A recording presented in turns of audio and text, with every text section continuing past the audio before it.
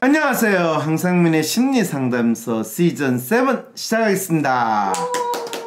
예. 자, 오늘은 시사 심리 코너입니다. 자, 그러면 시사 심리 진행해 주시는 우리 이웃집 변호사. 네, 안녕하세요. 저 이웃집 변호사입니다. 오늘은요, 여의도에서 어, 일하고 계시는 이어진 선생님도 함께 모시고 이야기를 진행해 보려고 합니다. 아, 그래요? 여의도에서 한번 오셨어요? 아 예. 네. 어, 누구세요?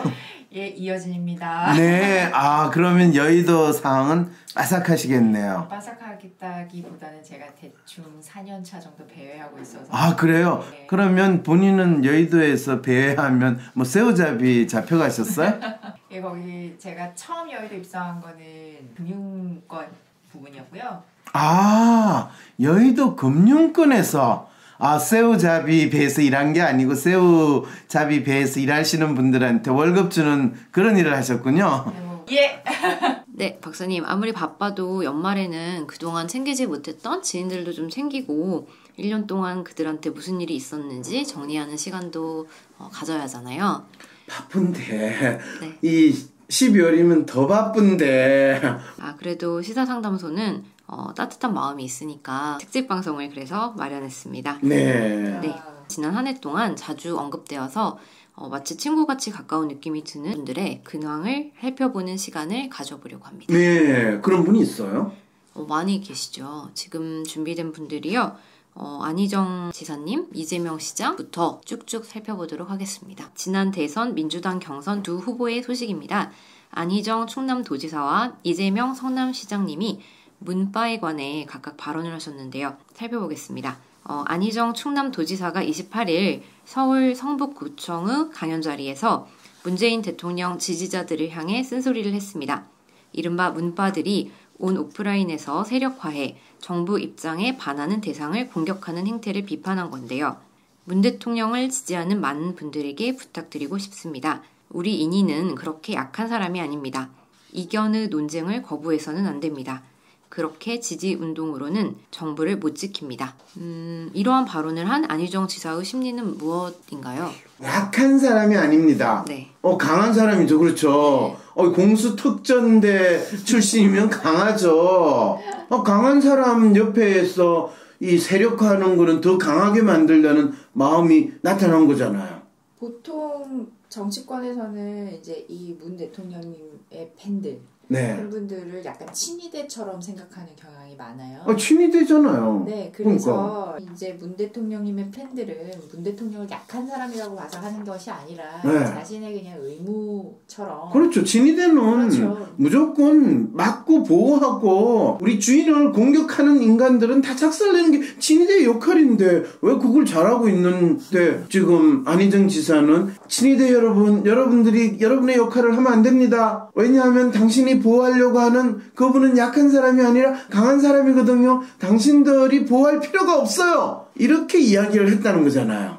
이건 약하고 안 하고는 중요한 얘기는 아닌 거예요. 그렇죠. 이게 이제 여기서부터 안희정 지사는 지금 문재인 대통령 호위대 이분들이 왜 그렇게 행동을 하는지에 대해서 잘 모르고 한 말 하신 거예요. 왜냐하면 호위대가 보호하는 그 사람을 공격하는 이 인간들을 작사를 내는 그 행동은 지금 우리가 보호하려는 그 사람이 약해서 그런 게 아니에요. 공격하면 무조건 적이니까 죽여버려. 라는 입장으로 지금 호의를 하는데, 아니, 저분이 약하지 않은데 왜 호의를 하냐. 이런 질문을 하는 것 자체가 이미 이 안희정 지사는 잘못 보고 있다라는 걸 알려주고 있죠, 첫째. 심리는. 음, 네, 이렇게 이런 발언을 하신 심리는 음, 무엇인지 그 다음에 이 경우에 있어서 제가 약간 그 이야기를 들었을 때, 아니, 왜 괜히 문파에 대해서 언급을 했을까? 자기 호의대도 아닌데. 그 말은 다시 돌려 있으면 안희정 지사는 왜 나는 문파와 같은 호의대가 없을까? 안빠는 왜 없을까? 이런 마음에서 지금 이야기를 한 거예요. 음, 이제 이 심리가 이해가 되세요? 네, 안지사 발언 이후에 후폭풍이 상당한데요. 그렇게 안빠가 생겨야 되는데 오히려 악성 댓글이 폭주하면서 안지사를 적폐 청산을 대상으로 규정짓기도 합니다. 민주당 안민석 의원도 안희정 지사를 비판했습니다. 페이스북에 적폐 청산을 위해 싸우는 전사들에게 응원과 격려가 필요한 시기에 점잖게 나무라는 서생 같은 훈 씨가 오해를 불렀다. 어, 이런 말씀을 하셨는데요. 안민석 의원은 안지사의 발언을 적폐 청산을 위해 싸우는 전사들을 나무라는 것으로 어, 해석하는 이유는 무엇일까요? 어, 뭐 이유가 뭐냐고 물으니까 제가 참 그러네요. 안민석 의원은 문바라고 그러나? 네. 예, 문바에 대해서 적폐 청산을 위해 싸우는 전사라고 그랬잖아요.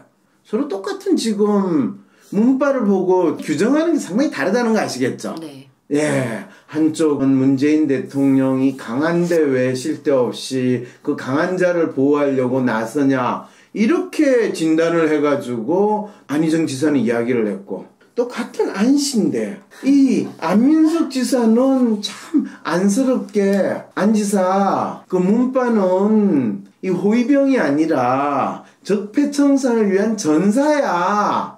그래서 네가 괜히 거기에 대해서 왈가할 말이 아니야 라는 투로 또 이야기를 했다는 거잖아요. 네. 그러면 이 사람들은 지금 뭐 하고 있는 거예요?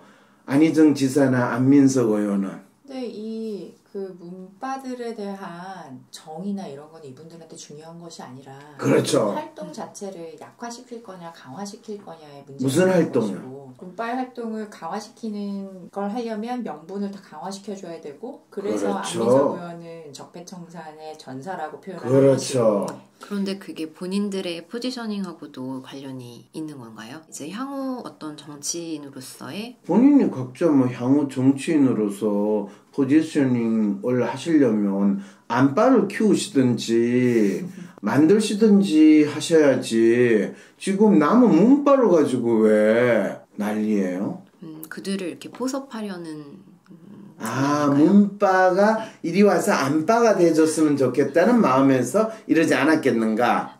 어, 그러면 당연히 문바 잘하고 있으니까 그리고 또 당신들의 역사적 사명은 다 했다. 그러면 새로운 역사의 사명을 이 안바로 변신하면서 할 필요가 있다. 이래야지. 왜 공격하는 목소리도 어느 정도 허용해야 되지 않냐. 이런 이야기를 할까요? 본인이 그 공격을 하는 포지셔닝에 있었었으니까 그런 거 아닌가요? 제가 보기에는 이 대선 과정에서 쌓였던 것들이 있지 않나라는 생각이 들긴 드는데 어쨌든 대선 경선 과정에서 문재인 음흠. 대통령과 안희정 지사는 사실 음흠. 각각 그 민주당의 대통령 후보로 나와서 경쟁을 했고. 그 공격 과정에서 했던 말들 때문에 안 지사는 사실 문바로부터 그때도 공격을 받았었거든요. 아, 당연히 공격을 받죠. 근데 그거에서 그때 너희들이 나를 공격하지 않았니? 그런데 지금 지내놓고 생각을 하면 할수록 더 열받으니까 너희들 좀 이제 좀 조용히 있으면 안 되겠니? 이런 마음으로 지금 안지사가 이야기했을 거라고요. 지금 이분이 누가 안지사가 뭐 초등학교 학생인 줄 알아요? 그건 뻔한 기자들이 그냥 하는 소리지. 아니, 그래도 안희정 지사를 이 초등학교 수준의 인텔리전스가 있는 사람으로 하면 곤란하죠. 안희정 지사가 이전에 그 기, 기억나세요?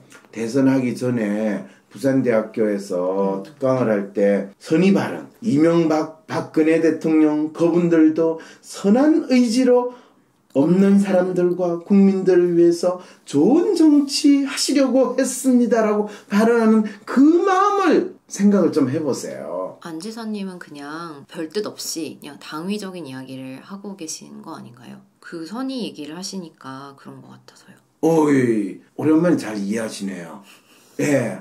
안희정 지사의 이 발언의 아주 중요한 심리적 특성은요, 본인이 이야기를 하면서 어떻게 보면 저 사람은 아무 생각 없는 당연한 이야기를 마치 의미 있게 어떻게 저렇게 잘할까, 라는 생각이 들게 만드는 근데 제가 알기로는 굉장히 고민을 많이 하시는 분이에요. 어, 굉장히 고민을 많이 하죠. 네. 이분이 어느 분입니까? 충청도 분인데 굉장히 고민을 많이 해가지고 뻔한 당연한 이야기를 고민을 담아서 하니까 많은 분들이 엄청난 심도 있는 이유가 있는 거라고 생각을 하잖아요. 어쨌든 중요한 거는 이분의 심리를 물어보셨으니까 이분은 당신은 상당히 의미 있고 중요한 발언을 했는데 그 발언이 실제로 사람들이 공감하거나 또는 그 부분에 있어서 참 당연한 말인데 뜬금없다라는 느낌이 드는 그리고 저 사람이 진짜 어떤 의도로 저 이야기를 했을까에 대해서 우리 편이다라고 생각하는 사람은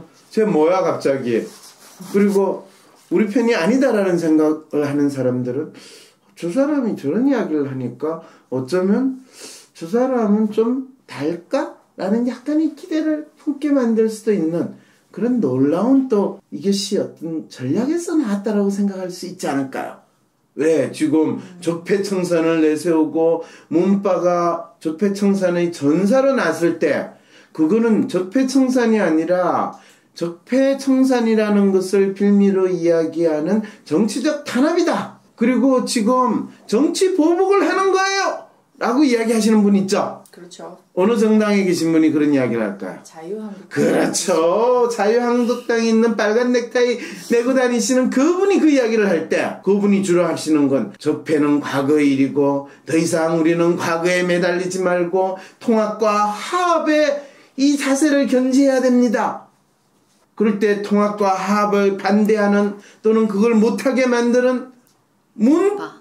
그렇죠. 빠 이렇게 이제 문 대통령이를 언급하면 약간 좀 또 걱정이 되니까 문빠를 언급을 하면서 지금 민주당 내에서 문재인 대통령의 다음에 존재감을 본인을 통해 가지고 확인을 받고 싶다 또 확인 받을 수 있지 않을까라는 전략이 숨어 있다고 이야기를 하면 오 이 심리는 상당히 깊이가 있는 심리 분석이라고 착각할 수 있겠죠.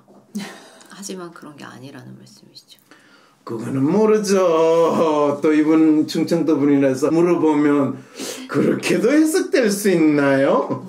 그거는 과도한 해석일 수도 있지만 사실과 부합되지 않는다고 말할 수 없겠네요. 이렇게 되겠죠. 어쨌든 일관적으로 그 통합과 화합 얘기는 해왔던 거는 사실이긴 하니까요. 봐요. 이런 이야기가 탁 나오잖아요. 네. 얼마나 놀라워요. 그러면 이제 아니 지금 집권한 지 얼마 됐다고 벌써 자기를 노리고 지금 이 외연을 확장을 하는 놀라운 이미지 전략에 벌써 안희정 지사는 들어갔구나. 이런 생각이 딱 드는 순간 같은 편이라고 생각했던 안민석 의원은 니만 안 쉬냐 나도 안 쉬다 라는 입장에서 이제 나선 그 상황이 지금 후폭풍이라고 이야기하시는 거죠. 그 말씀이 맞는 게 그 안지사님이 음, 1일 날요 다음 대선에도 도전할 의사가 있느냐는 한 시민의 질문에 어, 제가 선수로 나와서 뛰는 것이 정권 재창출 가능성이 가장 높겠다 싶으면 또 도전하겠다라고 답변을 하셨고 안민석 의원이 그것을 의식한 듯이 아까 그 페이스북 글에 어, 만약 그가 차기 지도자가 되려면 MB 구속, 최순실 재산 몰수하자고 전사들과 함께 스크럼을 짜야 하지 않을까 이런 지적도 하셨습니다. 아 그럼 내가 이야기한 게 맞단 말이야? 네, 안민석 의원은 지금 본인이 안희정 지사가 자기를 도모하는 거에 있어서 나는 두고 볼 수 없다라는 그 마음을 페이스북에 표현했다는 지금 그 이야기네요. 어느 정도 서로의 발언을 의식하시는 듯한 그런 모습이 아닐까요? 어, 그러면 또 안민석 의원도 상당히 나름대로 지금 고도의 지금 전략을 구사하고 있다는 건 이해가 되시죠? 네. 어떤 전략이라고 여기서 보여지나요? 일단 지지 세력 앞에서 네. 경쟁자를 탈락시키고 자기가 부각되는 방식을 쓴 거 아닌가요? 그 이야기가 맞으려면 어떤 조건이 먼저 성립됐냐면 경쟁. 두 분한테는 이 안희정 지사와 안민석 의원은 동급의 정치인일까요? 아니면 서로 급이 차이가 나는 정치인일까요? 현실적으로는 많이 나요. 많이 나요. 뭐 안민석 의원을 제가 잘 모르니까 이 안희정 지사가 더 부각된다라는 그 저의 한계에 대해서는 이제 일단 제가 고백을 하고요. 안민석 의원은 그래도 좀 유명해졌잖아요. 뭐로 유명해졌어요? 그 뭐 최순실 독일 뭐 이런 부분에서도 되게 유명해지지 않았던가요? 어, 가장 유명해진 건요. 정유라 부정 입학에 대한 아, 거를 그렇죠. 맞죠. 터뜨려가지고 그렇죠. 어쩌면 최순실 사건이 많은 국민의 관심사가 되게 만드는데 맞습니다. 최고로 역할을 하신 분이 안민석 의원이요. 그래서 이 사람은 사실 국회의원보다는 어쩌면 국정원으로 이 특채를 하든지 아니면 경찰청 외사과 든 또는 교육부의 부정 입학 방지 뭐 특별 담당관으로 임명을 해야 되는 분인데 국회에 계시니까 이 참 안타깝다라는 생각을 저는 했거든요. 그렇잖아요. 거의 어떻게 보면 탐정 정도. 근데 사건을 해결하기보다는 사건을 들추는 이런 역할을 하시는 분이니까 혹시 안민석 의원 지역구에 계시는 분들은 꼭 명심을 해가지고 다음 선거에는 이분을 국회의원으로 뽑지 말고 이 교육부 뭐 비리조사반 국장이라든지 특위위원장이라든지 아니면 국정원의 특채로 보내야 된다고 우리 청와대에 청원을 해야 돼요. 어 그렇잖아요. 아니면 국세청에 보내든지 이게 우리가 인재들의 능력을 잘 파악을 해서 국민들이 적재적소에 쓸 수 있도록 해야 되는 거예요. 그래서 안민석 의원 지역구가 어딘지 혹시 아세요? 아시는 분 있으면 꼭 그 지역구 분들한테 이분은 국회의원을 하기에는 너무나 뛰어난 재능을 가졌기 때문에 능력 개발. 네, 능력 개발 차원에서 절대로 국회의원을 더 시키면 안 돼요. 네. 그러면 다음 분으로 이제 넘어가겠습니다. 아 다음 분으로 네. 그래요. 어, 예. 이재명 성남시장인데요. 네, 제가 이야기해놓고 나니까 참 뿌듯하네요. 이, 이 안민석 의원의 이 진로 상담이 이렇게 될 수 있다는. 이렇게 특집 연말 특집이니까. 그럼요, 네네. 그럼요.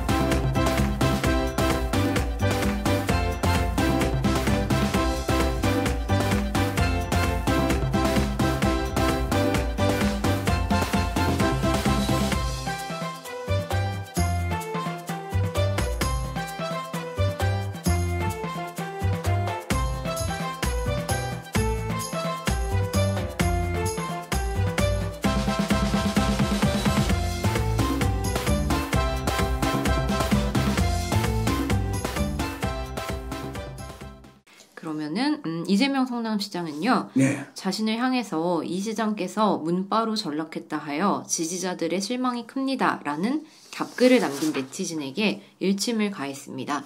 음, 이 시장은 나는 민주당원이고 민주당 승리를 위해 팀원으로 경선에 참여했고 문재인 승리가 내 승리였다.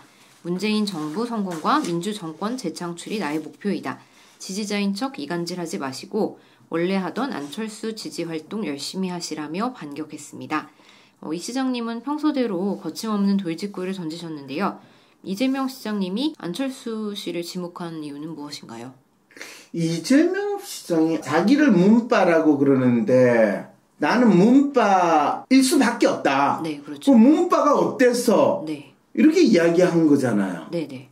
그리고 그러면서- 나를 문바라고 지적하는 당신들은 안빤 것 같은데 음, 어, 갑자기 왜 세상이 안 세상이 됐어요? 그런데 전 재밌는 게, 아, 또 문바에는 이 안바가 항상 같이 있다라는 이 대한민국 이 시절이 상당히 재밌네요. 그래서 지난번 대선에 나왔던 특히 민주당 후보로 나왔던 세 사람, 이 세 사람은 다 문바에 대해서 본인의 애정을 사랑하는 마음과 정호하는 마음을 보이고 있으면서 결론적으로 안 빠지 않느냐라는 지적을 하게 되는 이 놀라운 심리 변화를 읽게 되네요.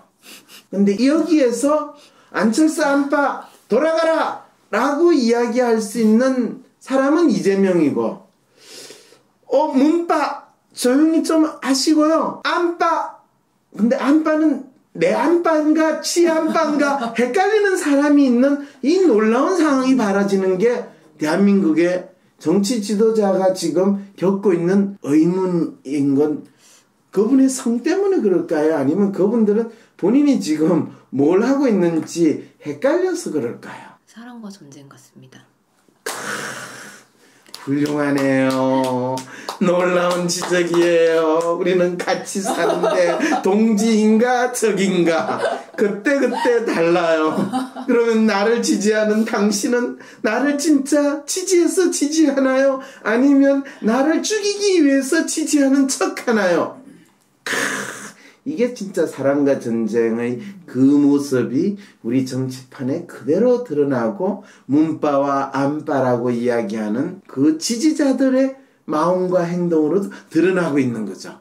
그래서 드디어 정치 문법이 아닌 심리 문법으로 이 현상을 분석해야 되는 놀라운 상황에 우리는 처하고 있다는 거죠. 이해가 되죠? 네. 그랬을 때 이재명 씨는 누군가가 자기를 지금 내가 당신의 동지인데 지금 당신이 그러면 안 됩니다. 이렇게 이야기하는 거 네가 무슨 내 동지야. 너는 저기야. 빨리 네 위치로 가라. 이렇게 이야기했잖아요. 그래서 이분을 왜 야전 사령관이라고 이야기했냐면 야전 사령관 이 지지자들 자기 부하라고 하더라도 동대에서 칼을 푹 쑤실지 몰라요. 그러니까 집밖에 없어. 나를 지지해 줄 거면 죽고 나서는 지지해주고 괜히 나를 생각해주는 척 하면서 돌려서 이야기하는 건 적이야. 그래서 그걸 분명히 구분을 하는 거야. 이분법적으로. 네. 동지다 생각하지 말고 적과 내 적이 아닌 그 두 개의 구분밖에 사용하지 않는 마음을 그대로 지금 네가 나를 문바라고 공격을 하는 거는 그거는 나를 적으로 보고 이야기하는 거니까 딴소리 하지 마라.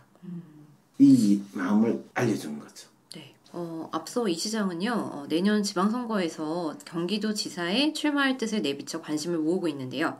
문재인 정부의 성공을 바라고 지지할 것이라며, 그래야 다음 대선에서도 민주개혁 세력에게 기회가 있다고 밝힌 이 의미는 무슨, 무슨 뜻이라고 볼 수 있나요? 자기 대권을 위한 디딤돌로서 경기도 지사로 나오시려고 하시나 보죠. 네. 어, 이재명 시장과 안희정 지사, 차기 대선 후보로서 각각 경기도 지사와 국회의원 출마로 다음 행보가 점쳐지고 있는데요. 아, 그 말은 안희정 지사는 이제 충청도 지사 안 나오고 의회 민주주의 경험이 없으셔서 어, 그런 경험을 아, 좀 탄탄히 의회 키워보시겠다. 민주주의 경험이 없다. 네. 어, 그러면 이재명 성남시장도 국회의원 돼본 경험이 없잖아요. 왜 자기가 내가 국회의원 된 경험이 없어요 라는 표현을 안 쓰고 의회 민주주의 경험이 없다고 표현을 할까요? 어, 이거 진짜 안희정 지사의 아주 상투적인 표현법인 것 같네요. 왜 그러냐면 안희정 지사는 국회의원 보좌관을 해봤을까요? 안 해봤을까요? 그렇죠. 했죠. 오, 그런데 그러면 국회에서 국회의원 보좌관을 한 사람은 의회 민주주의 경험을 안 하고 독재주의를 경험했나요?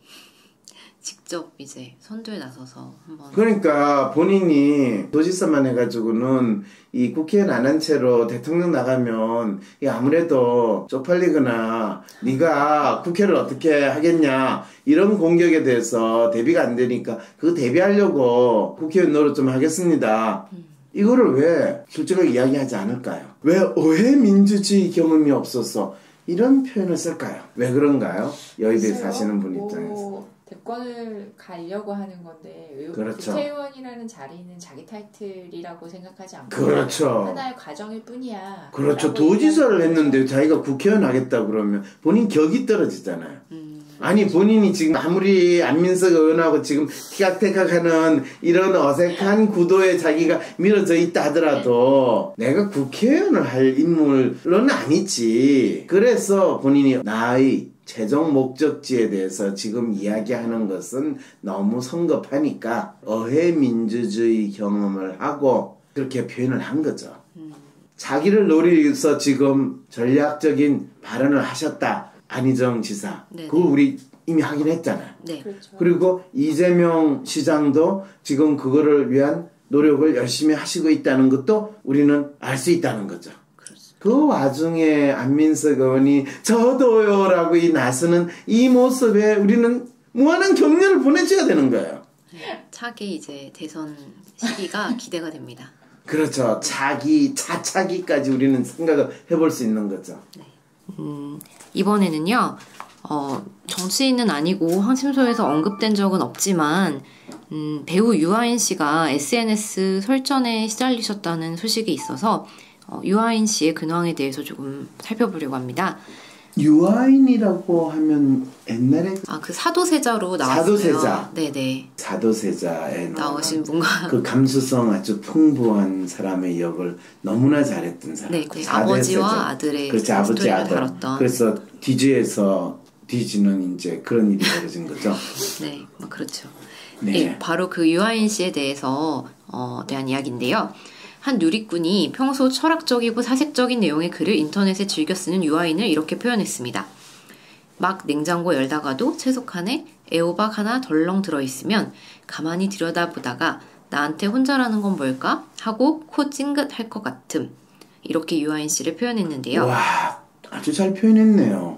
어, 그런데 유아인 씨는 여기에다가 애호박으로 맞아봤음? 코 찡긋이라고 답글을 달았어요. 그렇죠. 그러자 폭력적이다.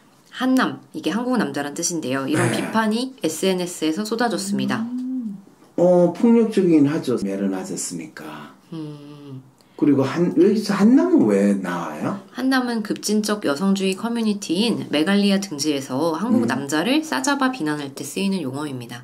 어, 유아인은 애호박 드립에 애호박 드립으로 성별 모를 영어 여- 아이디님께 농담 한마디 건넸다가 여혐 한남 잠재적 범죄자가 되었다. 증오를 포장해서 페미인 척하는 메갈짓 이제 그만이라고 맞받아쳤는데요. 이게 이제 페미니스트들의 분노를 부추기게 되었고 50여 분간 트위터 설전을 이어지게 되었습니다. 어, 대중들이 남혐, 여혐, 페미니스트, 메갈, 한남 등의 논의가 될 여지가 없는 이런 사건에 이런 단어를 쓰는 이유는 무엇일까요? 그렇죠. 왜 그러냐? 그 단어가 무슨 뜻인지 모르니까요.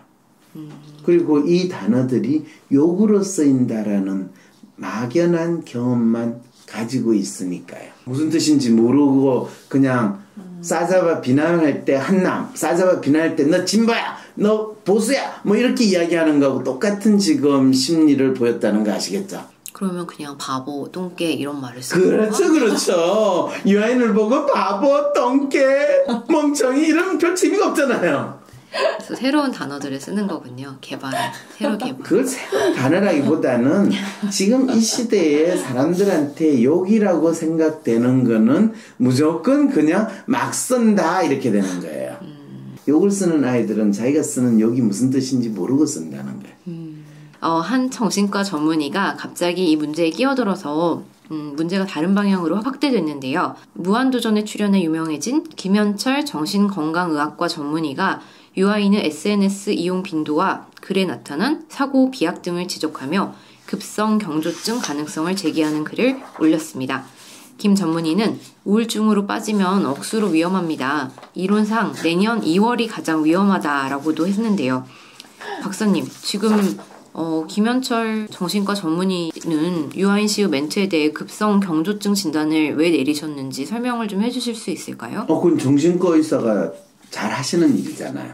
정신과 의사는 아무나 그냥 정신병명을 갖다 붙이는 게 그분들이 하시는 역할이거든요. 어, 그러니까 진짜 사실은 유아인 이 친구가 쓴 글을 보면 상당히 이 친구가 로맨티스트 성향이 있으면서 그거를 좀 더 긍정적으로 그러면서 나름대로의 유머를 넣으려고 하는 아주 감수성이 풍부한 친구라는 건 알겠어요. 그리고 그걸 상당히 긍정적으로 자기 나름대로 받아들이는데 또 그거를 뭐 누군가가 자기한테 상당히 뜻도 알 수 없는 불쾌한 이야기를 하면 그걸 또 상당히 자기 나름대로 이 데코레이션을 하는 어, 이제 이런 상태를 보통 심리적으로 봤을 땐 약간 하이된 심리 상태다. 아, 그럼 언제 하이되냐면 마리아나나 마약을 하면 하이되는 우리가 뿅 같다. 이런 느낌들을 표현할 때 이제 그 행동을 사실은 유아인 이 친구가 상당히 감수성도 높고 예민하니까 잘 표현하는 것 같아요. 그리고 심지어는 자기한테 그 욕 같은 이야기를 하더라도 그거를 누구는 뭐 똥이라고 던졌는데 그걸 된장으로 받아들인다 뭐 이런 아주 또 놀라운 긍정적 사고를 가진 친구인 것 같아요. 그런데 그런 기분이나 그런 행동은 아무나 잘 못하잖아요. 네. 그리고 사실은 그 행동은 누가 대부분 우리가 보면 넌 진보야, 넌 보수야, 너는 문빠야, 너는 안빠야 뭐 이러면 기분 되게 나쁘고 너는 그러면 홍빠니 나는 싫어 뭐 이런 게 우리가 늘 보이는 행동이잖아요. 그게, 그게 정상이라고 생각하는 사회에 살고 있는데 뭐 욕을 해도 그거에 대해서 너무 진지하게 또 그거를 재미있게 받아주는 인간이 있는 거는 이게 정상이 아니야. 아, 그럼 얘는 정상이 아니면 정신과 의사 입장에서는 다 비정상이고 미쳤다 이렇게 되는 거죠. 그럼 정신과 의사는 해줄 수 있는 건 거기에 적절한 병명을 갖다 붙이게 되면 본인이 좀 있어 보이는 사람이 되는 거잖아.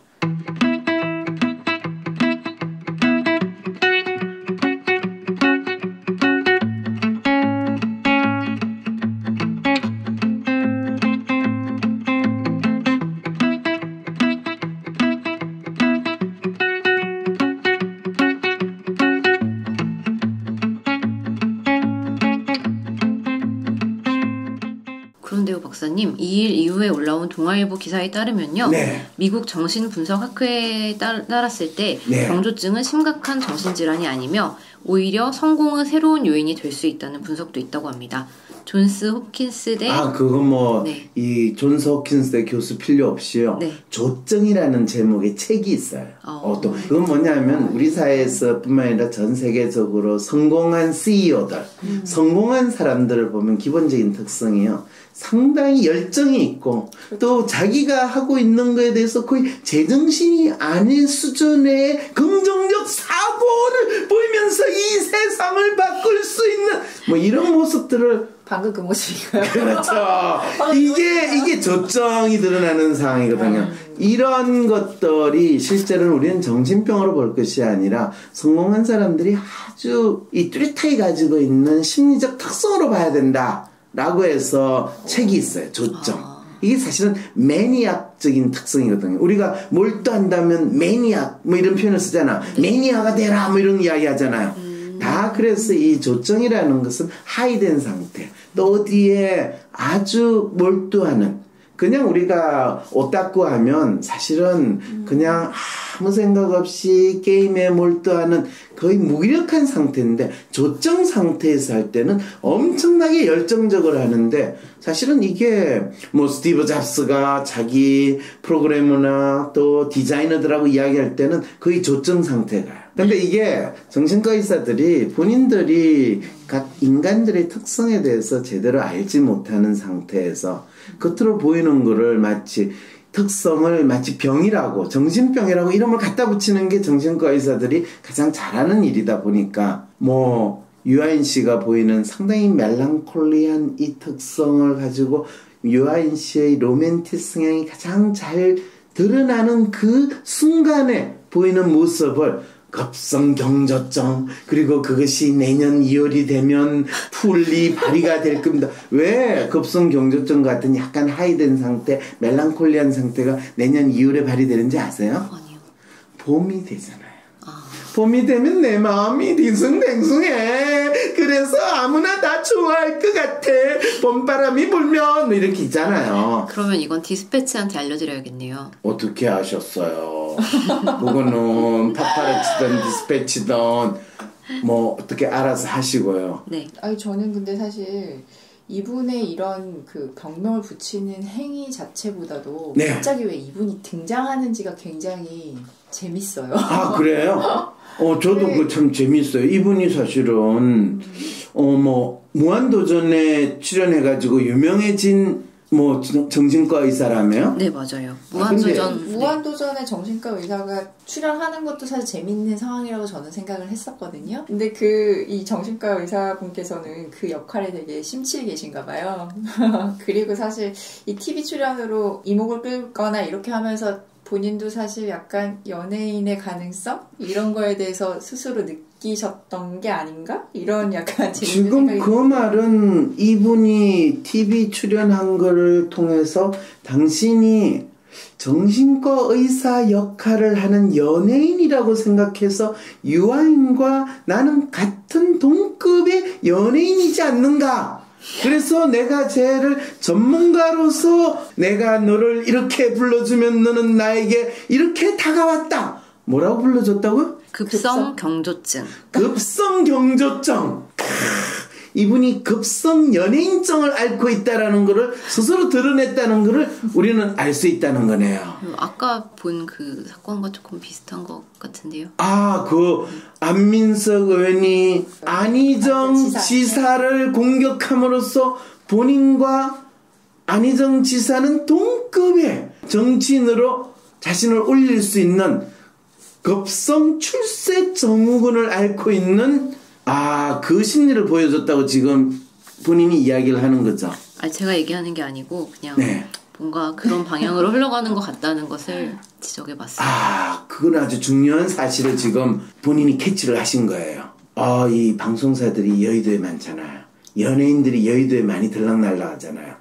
그러면 여의도에서 다 지금 급성 경조증과 급성 동급 연예인증 뭐 이런 급성 무슨 거의 정신병에 시달리고 있다라는 거를 지금 어, 여의도에 지금 급성 정신병이 지금 유행하고 있을지도 모른다는 추측을 하게 만드네요. 네, 이거는 그러면 정리하면 여의도에 현재 급성 동급 증후군이 유행하고 있다. 그렇죠. 그게 이제 우리는 안민석 의원과 안희정 지사와의 논쟁.